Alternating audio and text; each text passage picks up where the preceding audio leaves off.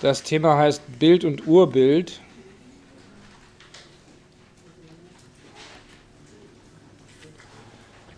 Und worum geht's? Ähm, auch da fangen wir vielleicht mal damit an, dass ich Ihnen erstmal einfach die Definition hinschreibe.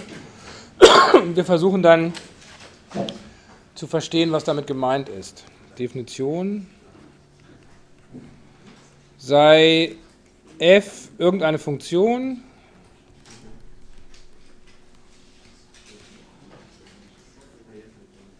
und seien xy Mengen, irgendwelche Mengen.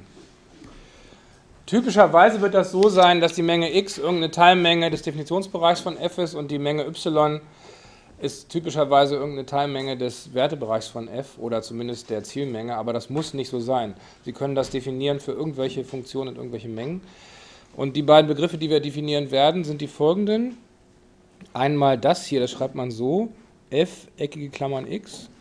Damit ist gemeint die Menge aller Werte fx, wobei x die Menge groß x durchläuft. Das ist die eine Menge und die andere Menge ist die hier, f hoch minus 1 von y. Damit ist gemeint die Menge aller x, sodass f von x aus y ist. Das erste nennt man das Bild von x unter f, also das hier nennt man das Bild der Menge x unter der Abbildung f. Und entsprechend nennt man das hier das Urbild von y.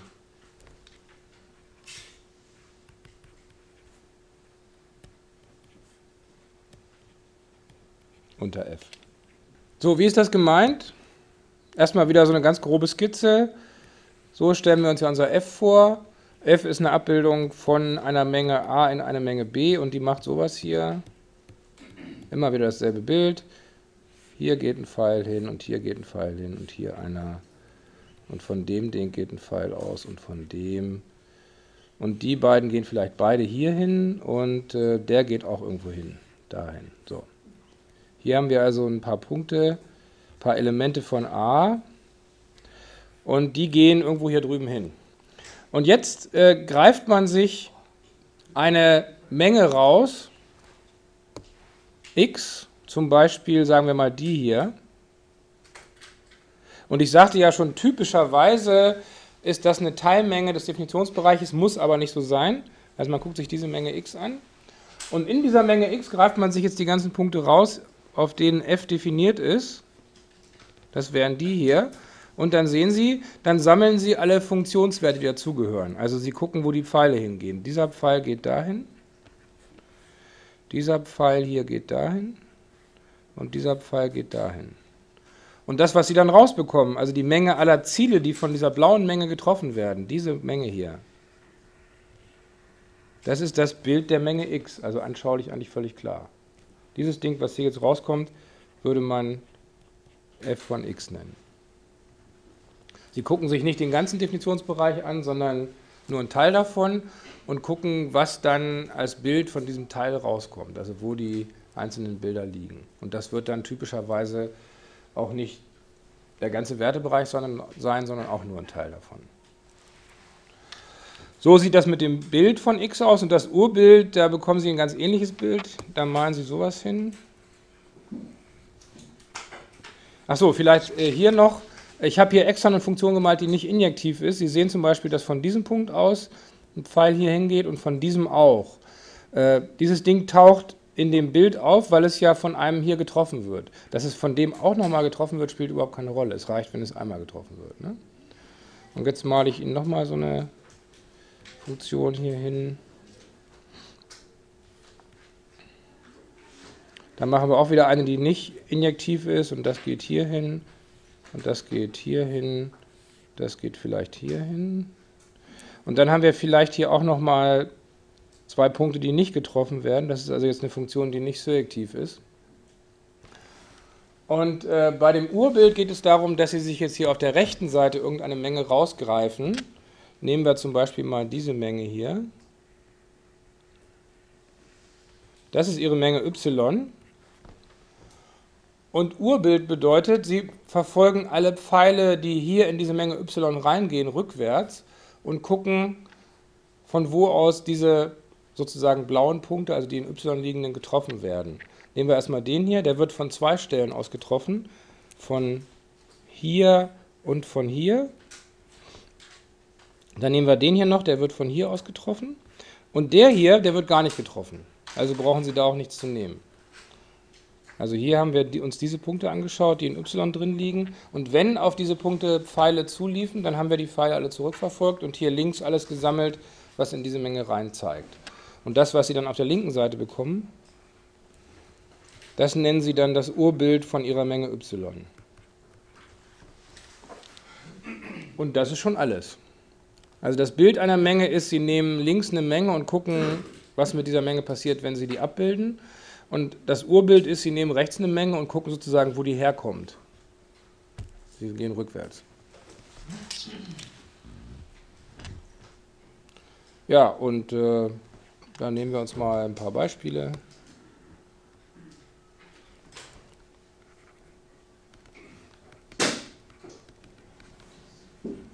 Nehmen wir mal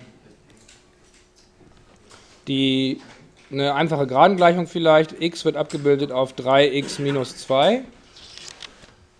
Und bei äh, dieser Funktion können wir jetzt als Menge x vielleicht mal ein Intervall nehmen. Nehmen wir mal das Intervall von 0 bis 2. Das können wir ja vielleicht mal als Bild hinzeichnen. Hier sind die x-Werte, hier sind die Funktionswerte. Äh, 3x minus 2, das heißt, wenn ich hier wenn ich hier 0 einsetze, kommt minus 2 raus. Die Funktion wird also durch diesen Punkt durchgehen und sie wird die Steigung 3 haben, also so ganz grob gezeichnet läuft die hier so lang. So ungefähr wird diese Gerade aussehen. Und jetzt nehmen wir uns dieses Intervall hier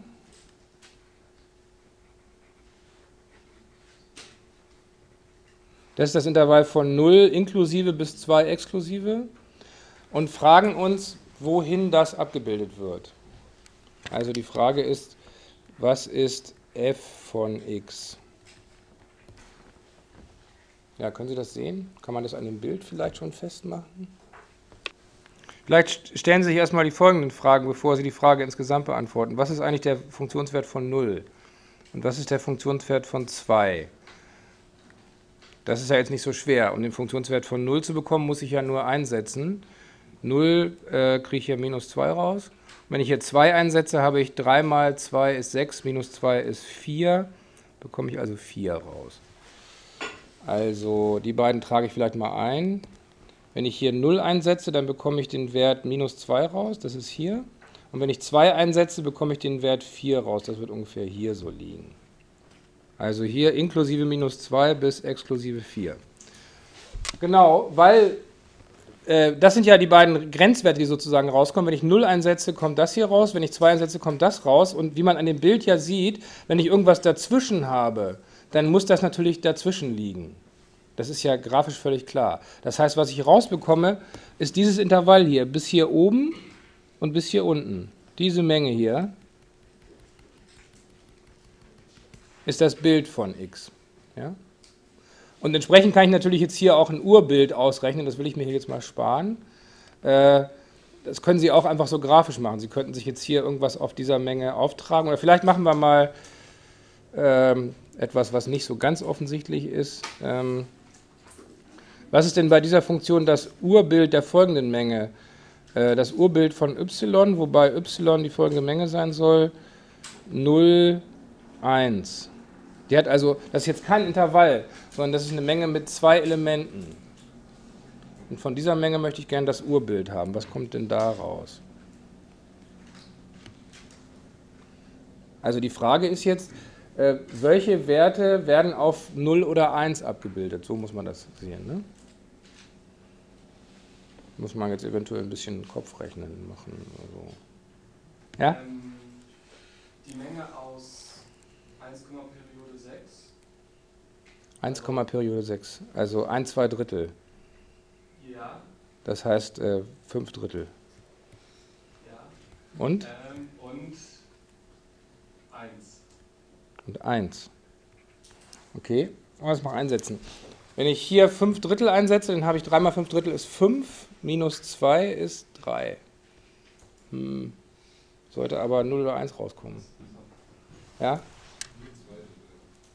2 Drittel? Achso, 0, Periode 6. 2 Drittel. Also wenn ich 2 Drittel einsetze, habe ich 3 mal 2 Drittel ist 2, minus 2 ist 0. Und wenn ich 1 einsetze, dann habe ich 3 mal 1 minus 2 ist 1. Und andere Werte können das ja gar nicht sein, weil wir ja schon wissen, jede gerade, also jede Gradengleichung ergibt eine injektive Funktion. Also zwei Werte hier können nur von zwei Werten hier getroffen werden. Wichtig ist aber auch, was Sie ja richtig gesagt haben, die entsprechende Mengenschreibweise. Sowohl das Bild als auch das Urbild einer Menge sind selbst wieder Mengen. Also muss hier eine Menge rauskommen, wie es da auch steht. In diesem Fall eine Menge mit zwei Elementen. Ja, noch ein Beispiel vielleicht. Ähm, nehmen wir mal. Ähm,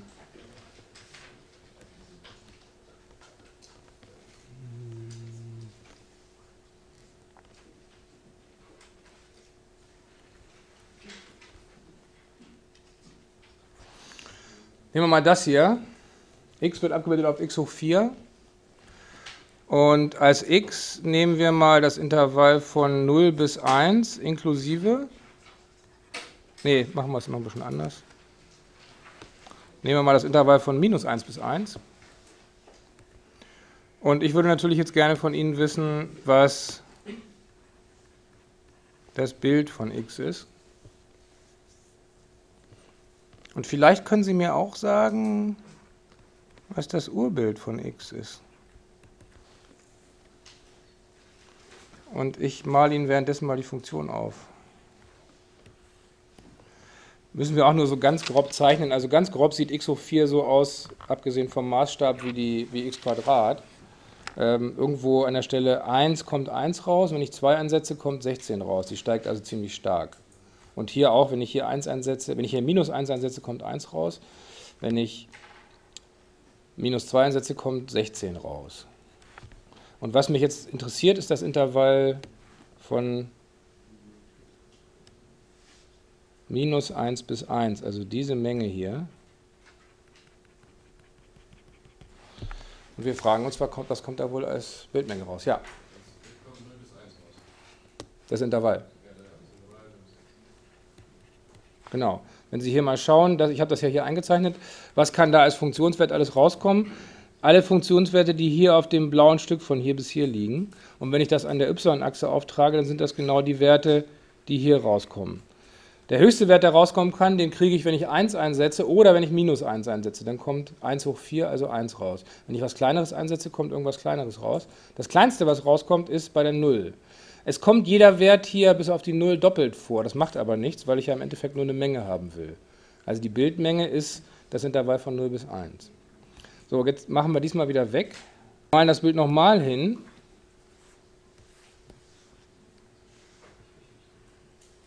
Jetzt stellen wir uns die Frage aber ein bisschen anders. Äh, mich interessiert jetzt dieses Intervall hier, also ich trage das jetzt auf der y-Achse auf. Das ist auch das Intervall von 1 bis minus 1. Aber ich möchte jetzt ja das Urbild haben. Ich möchte das Urbild von x haben. Also wann landen Werte in diesem blauen Bereich? Ich kann es auch so fragen, wann landen Werte in diesem blauen Streifen? So kann man sich das ja auch vorstellen. Ja? Ebenfalls zwischen 0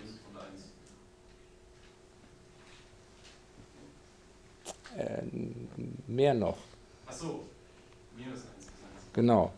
Da kommt raus das Intervall von minus 1 bis 1, weil ja alle Werte von hier bis hier welche sind, die ich da einsetzen kann und die landen jeweils im blauen Bereich. Und zwar landen die alle nur im Bereich 0 bis 1 und die da drunter liegen, äh, die haben gar keine Urbilder. Darum brauchen die auch in dieser Menge nicht aufzutauchen. Ne?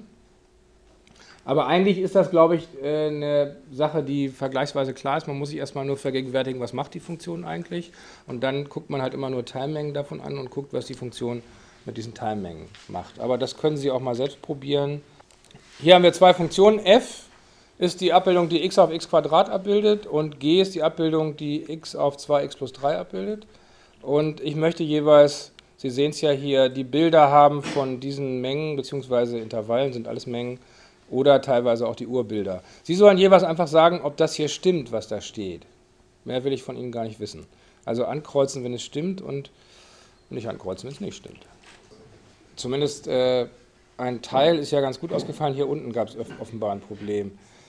Kann aber auch einfach daran liegen, dass Sie nicht genau hingeschaut haben. Vielleicht gehen wir nochmal diese beiden hier durch. Dieses erste hier, äh, dieses dritte hier, äh, das ist falsch. Warum ist das falsch? Können Sie mir sagen, warum das falsch ist? Ja? müssen auch noch minus 1 und minus 2 drin sein. Genau. Wenn die verliert, dann geht das ja auch 1 und Also hier auf der rechten Seite müssen alle Zahlen stehen, bei denen, wenn man die in die Funktion einsetzt, 1 oder 4 rauskommt. Das sind zwar auch 1 und 2, aber es sind auch die Zahlen minus 1 und minus 2. Also das hier stimmt nicht sondern da hätte rauskommen sollen 1, 2, minus 1, minus 2. Weil die Funktion nicht injektiv ist, gibt es mehrere, die auf dieselben Sachen zeigen. Und warum ist das hier falsch, beziehungsweise was wäre hier richtig gewesen? Ich meine, wenn ich hier zum Beispiel 1 einsetze, dann kommt doch 5 raus. Ja? Aha. Also der Fehler hier ist, dass hier eine eckige Klammer ist. Ne? Hier hätte eine Runde sein müssen. Das ist das Entscheidende. Und dieses hier ist im Prinzip auch ganz gut ausgefallen. Hier steht eigentlich nichts weiter als, wenn ich in die Funktion je nur ganze Zahlen einsetze, dann kommen auch nur wieder ganze Zahlen raus. Mehr steht hier nicht. Ne? Die Menge aller Werte, die ich bekomme, wenn ich ganze Zahlen einsetze, ist selbst wieder eine Menge von ganzen Zahlen. Ja? Dieser erste Ausdruck jetzt G, Abbild von Z oder Bild von Z, oder wie spricht man Das, das, aus? das Bild von Z unter G. Unter G. Ähm, das ist eine Menge, ne? Ja. Was das beschreibt. Ja, okay. Fragen Sie sich, wie diese Menge aussieht. Nee. Ich habe ja extra nur Teilmenge da geschrieben. Also Sie können, wir können das ja mal ausprobieren. Wenn ich äh, Z, da sind ja die ganzen Zahlen drin, also 0, 1, 2, 3, aber auch minus 1, minus 2 und so weiter. Äh, jetzt können wir mal gucken, was hier rauskommt, wenn ich zum Beispiel 0 einsetze in diese Funktion hier, dann kommt 3 raus. Ne? Wenn ich 1 einsetze, dann kommt 5 raus.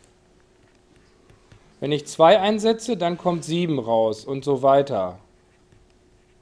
Okay? Und wenn ich jetzt minus 1 einsetze in diese Funktion, dann habe ich 1. Wenn ich 0 einsetze, äh, minus 2 einsetze, dann habe ich minus 1. Und dann geht es hier weiter, minus 3 und so weiter. Das heißt, was hier rauskommt, ist die Menge der ungeraden ganzen Zahlen. Nicht alle ganzen Zahlen, sondern nur die ungeraden. Aber die Frage war ja auch nicht, kommen hier alle ganzen Zahlen raus, sondern ist das eine Teilmenge der ganzen Zahlen, die hier rauskommt. Also hier steht, kann man auch anders interpretieren, wenn ich hier eine ganze Zahl einsetze, dann kommt nicht auf einmal was raus, was keine ganze Zahl ist. Da hätte ja auch drei Siebtel rauskommen können oder sowas. Tut es aber nicht. Ne?